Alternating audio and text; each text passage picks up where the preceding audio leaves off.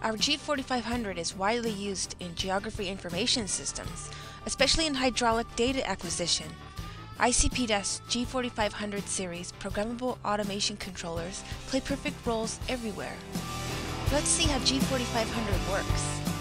With G4500 PACs installed, hydrologic data gathering stations are established along the river. Hydrologic data, such as temperature or flow rate, are captured by the sensors in the water. After the G4500s receive data from the sensors, it sends the data to the central control PC via GPRS.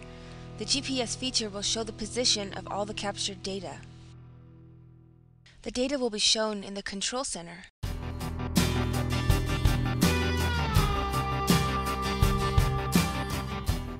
Irregular data will include warnings in order to reduce loss caused by disasters.